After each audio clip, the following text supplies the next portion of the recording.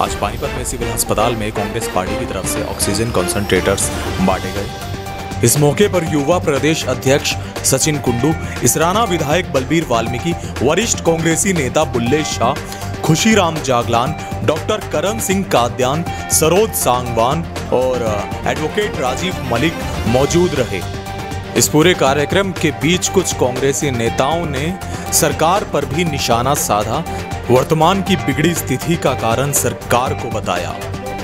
नमस्कार, मैं Abhishek Verma, news Aryavart times में आपका स्वागत है।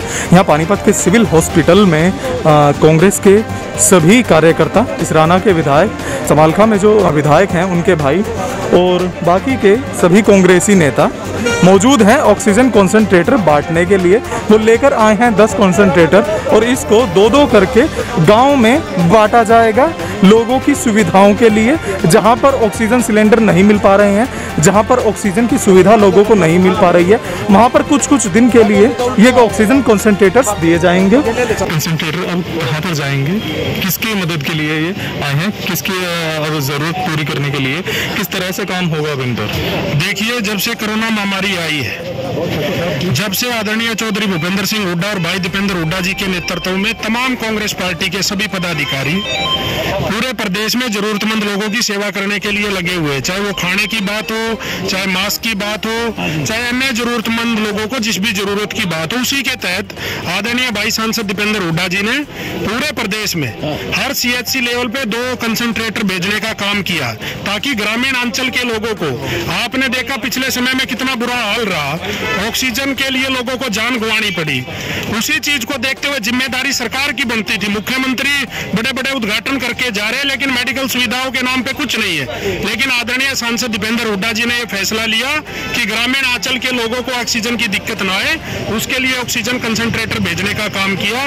उसी के तहत आज 10 ऑक्सीजन कंसंट्रेटर पानीपत भेजने का काम किया है। और और भी सीएमओ साहब से बात हुई है, और भी जो ज़रूरत होगी, वो भेजने का काम करेंगे। ये दस कंसंट्रेटर कितने एरिया में जाएँगे और कितने लोगों की ज़रूरतों को पूरा कर सकते हैं? देखिए, ये तो मेडिकल अफसर देखेंगे। अभी सीएचसी हमारे पानीपत ज़िले में पड़ती है तो उनमें ददलाना दो जाएँगे, बापोली दो जाएँगे, इसराना जाएँगे हर जाएँगे, संभालका जाएँगे।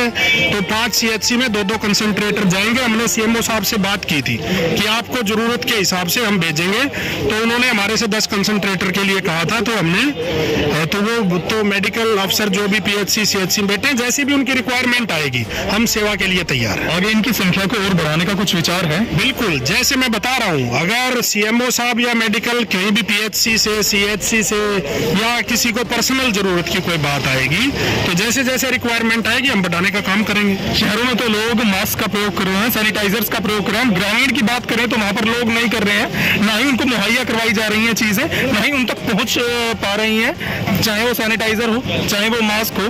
तो इस तरफ़ भी कुछ ध्यान है? नहीं, ऐसा नहीं है। स्टार्टिंग में कुछ ऐसा था, लेकिन हमने गाँव स्तर पर भी, चाहे सैनिटाइजर का छिड़काव कराने की बात है, गलियों में सैनिटाइजर मशीन से, चाहे मास्क बांटने की बात है, हमारे सभी इसराना से विधायक बलबीर वाल्मीकि जी भी आए हैं, संभाड़का से धर्म सिंह जी के भाई कंवर सिंह जी भी आए हैं, और भी हमारे कांग्रेस के जितने भी सिपाही जो भी नेतागण हैं, सबने अब अपने क्षेत्र में, गाँव में सैनिटाइजर से छिड़काव भी कराया है मास्क भी बंटवाए हैं सैनिटाइज भी बंटवाए हैं विटामिन सी की गोलियाँ भी बंटवाई हैं, और भी जो ज़रूरत इसको लेके पड़ती है तो हमारे लोग उसमें लगे हुए हैं, और गाँव में भी। अब लोग पूरा सेफ्टी चाहे हुक्के का जो ताश का प्रचलन रहता है, अब आप देखोगे गाँव में उस तरीके का भी आपको कुछ नज़र नहीं आएगा। मेरा तो कहना ये है कि जिस जैसे सरकार द्वारा वैक्सीजन जो टीके जो लगवाए जा रहे हैं ना, हम तो लोगों से वैसे भी कहते हैं, अपने क्षेत्रों में भी कहते हैं, भाई हर आदमी को ये लगवाने चाहिए। सरकार की ड्यूटी बनती है कि भाई उसे चेक करें, देखें,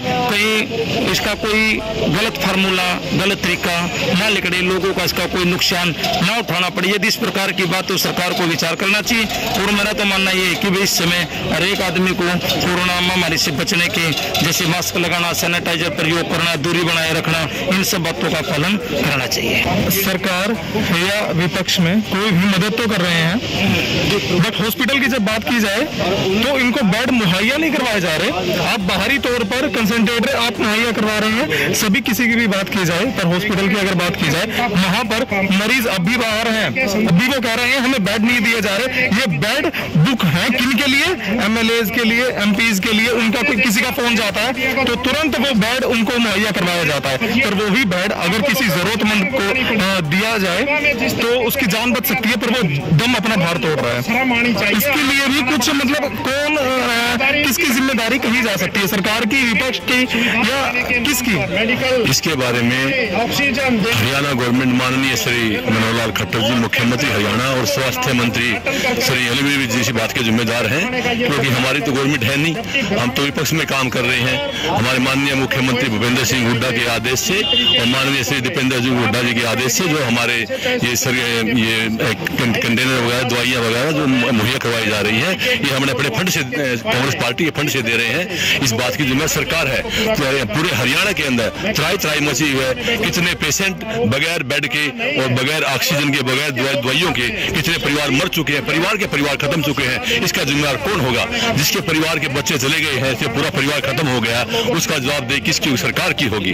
हम तो आवाज़ उठा सकते हैं जितनी हमारे सरकारी हमने प्राइवेट फंड से हम मुहैया पब्लिक को सेवा कर रहे हैं हम ज़्यादा से ज़्यादा कर रहे हैं अपनी अपनी जेब से कर रहे हैं।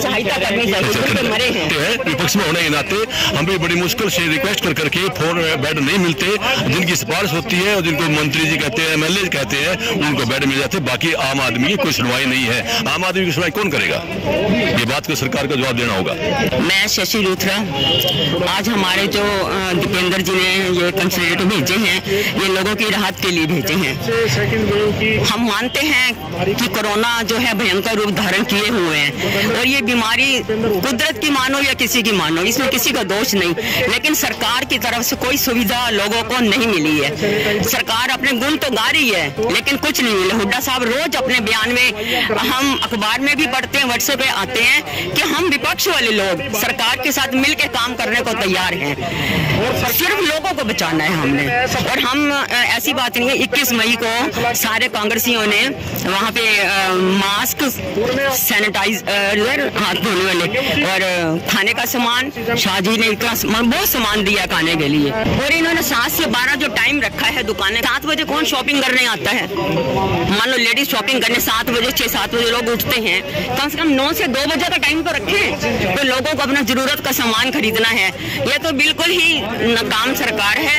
इन्होंने लोगों को बर्बाद कर दिया है। बिल्कुल और मॉडल टाउन एमपी एमएलए रहते हैं। वहाँ पे अभी दुकानें बंद है, ताकि उनको खतरा है